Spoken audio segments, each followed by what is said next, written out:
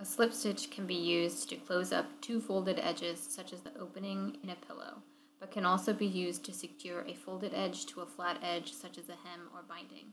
A slip stitch should be almost invisible from both the right and wrong sides of the fabric.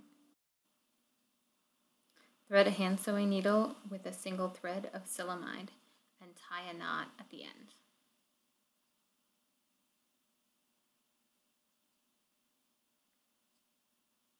If needed, trim below the knot to remove any excess. Find the top edge of the muslin square. You'll begin slip stitching where you stopped whip stitching.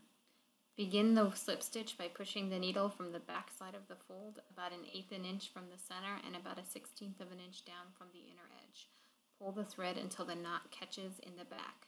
It should be between the fold and the front square.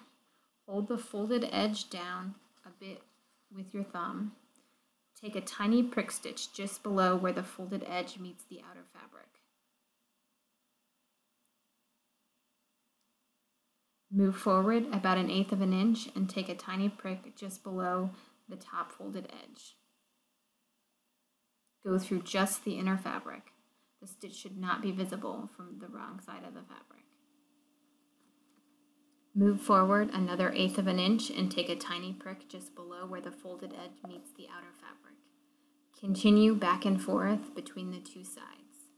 Be sure to keep the stitches just below the folded edge and do not move up or down towards the outer folded edge. After you have done a few stitches, gently pull the thread to close the seam. The stitching should no longer be visible on the wrong side. The right side should look the same as the whip stitch with just tiny. Continue to zigzag back and forth between the two layers until you reach the end. Pull until the seam is brought together but the fabric still remains flat.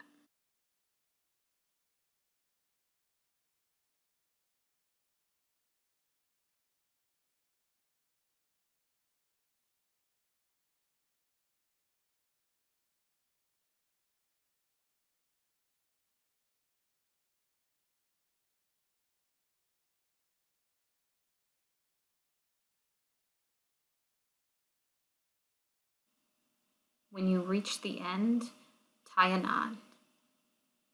Make a circle with your thread, wrap the thread around the needle twice, and pull the thread until the needle is snug against the fabric.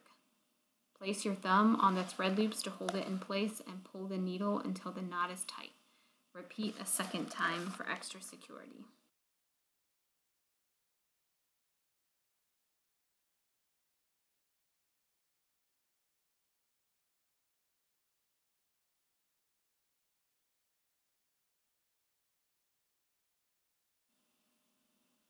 Push the needle under the first layer of fabric and come up about a half an inch away. Then clip your thread flush with the fabric. This prevents you from accidentally trimming off your knot. You have now completed the slip stitch and are ready to continue with cross stitching.